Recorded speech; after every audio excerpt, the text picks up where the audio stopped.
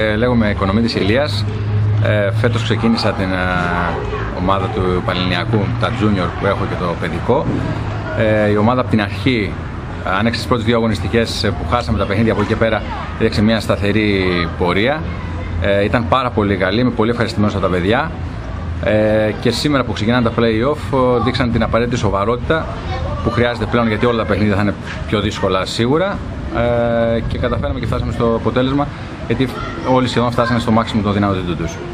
Τι θέση τερματίσατε στην κανονική διάρκεια; Βγήκαμε δεύτερη μαζί με την ε, Θίελα Τριγλίας.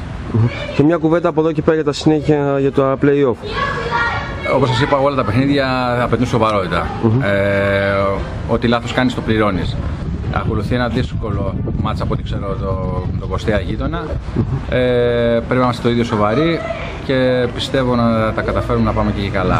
Μπαρμπαρής Αντρέας λέγομαι, είμαι στην Ακαδημία του Απόλλωνα Ναβίσου, είμαι 6 χρόνια σε αυτήν την Ακαδημία, πιστεύω ότι έχουμε κάνει μια πάρα πολύ καλή δουλειά.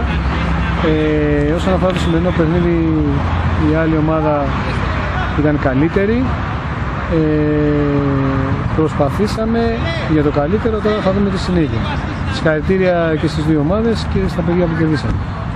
Από εδώ και πέρα θα παίξετε σε κάποιο τουρνουά, θα συμμετάσχετε; Ε, θα τελειώσει πρώτα ο Όμιλος, γιατί είμαστε mm-hmm. Όμιλος εδώ αυτό και θα δούμε πώς θα πάμε και αν τελειώσουν πιο γρήγορα τα παιδιά θα πάμε σε κάποιο άλλο τουρνουά.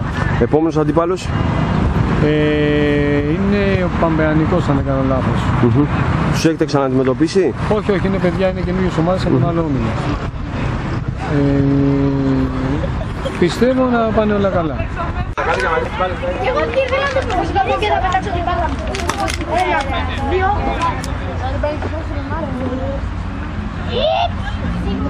Ωπα ρε Κριστιανό Ρονάλντο. Ρε που πάει όλος.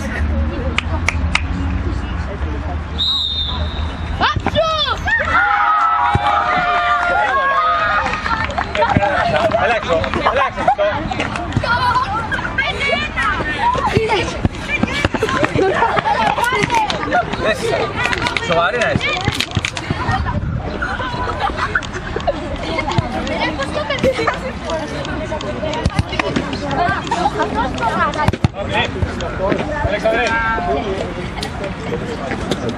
Πάμε, να σου Πάμε από εδώ. Πάμε από εδώ.